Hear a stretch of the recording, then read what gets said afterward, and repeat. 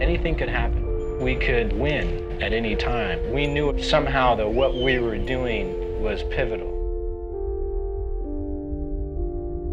The Vanguard was probably one of the best experiences of my life.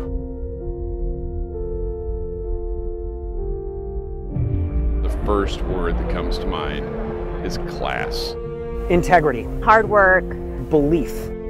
Always trying and striving for the best.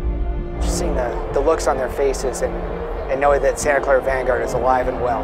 It's an awesome thing to see. I just think Vanguard's awesome. This unknown little bunch of people in California that were able to change an activity that had been established for a long time and make it way better. I remember coming off the field. We were all looking at each other going, that felt awesome. We knew from there on out that that was just the show. And I still hold that feeling to this day.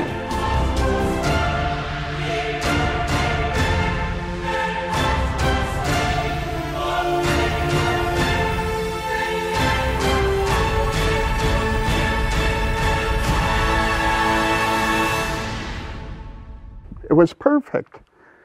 The Vanguard was perfect. The whole thing was perfect.